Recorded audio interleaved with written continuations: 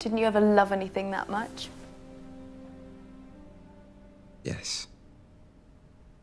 Yes, I did.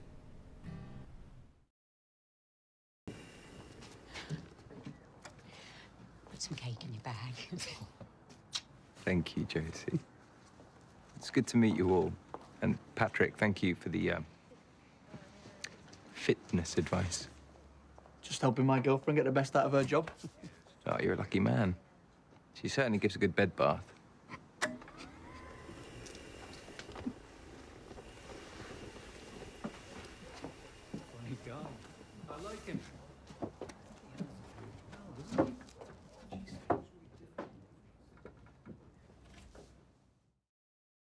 Right, well, we better get you in. Wait a minute, Clark. You okay? I don't. I don't want to go in yet. Just want to be a man who's been to a concert with a girl in a red dress. Just a few minutes more.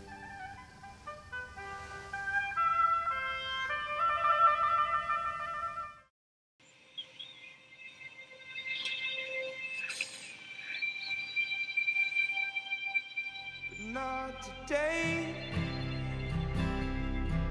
Not today.